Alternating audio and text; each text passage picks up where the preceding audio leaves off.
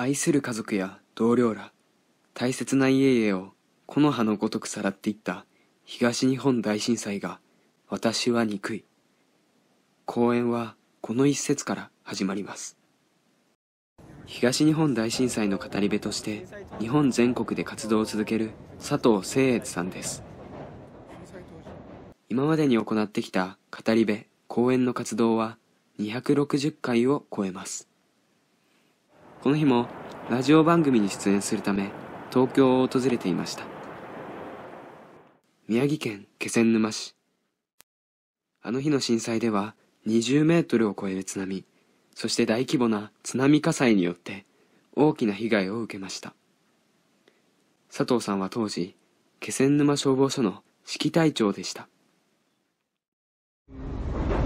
2011年の3月11日なんですけれどもその日はちょうど私はあの非番で家にいたんですけれども大きな地震が発生して私自身の身の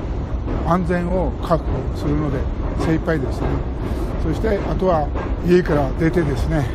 消防署に駆けつけてそして、えー、気仙沼の津波火災の大炎上火災の現場に向かいました。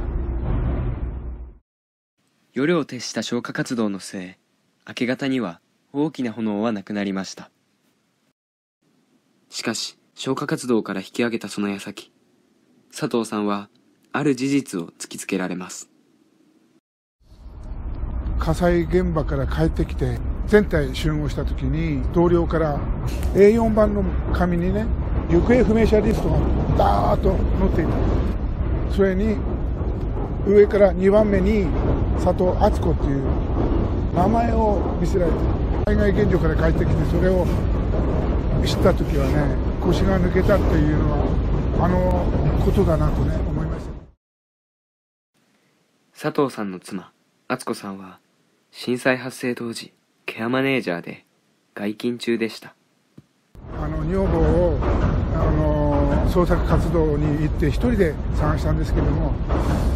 なかなかあの見つけることができなくてそしておにぎりをもらったのを備えてね申し訳ないと。そして消防という使命二文字。これで災害現場で活動することに決めた。妻敦子さんが遺体として見つかったのは震災の6日後でした。最愛の妻、敦子さんを亡くした佐藤さん。語り部の活動を始めたのは、震災から3年が経った頃でした。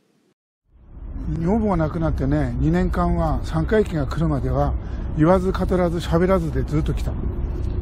しかしね、自分がおかしくなるっていうのが分かったんでね、人前に出るのが嫌になったりね、語ることが嫌になってね、自分がこう、めいていく姿っていうのが、自分で自覚したんでね、語るということに3年経ってから決めた。語り部の活動を始めて6年、佐藤さんには変わらない思いがあります。この東日本大震災でね、約2万人の方が犠牲となりました。やはり、あの、亡くなった方々へのね、思いを忘れない、そしてあなたを忘れないということをずっと心の奥底にね、置いて活動しています。一方で新しい気づきもあったといいます。やはり多くの方々との出会いで明るく元気に強く生き抜いていくことがいかに大切かということを人の出会いの中で変わってきましたね。消防の指揮隊長として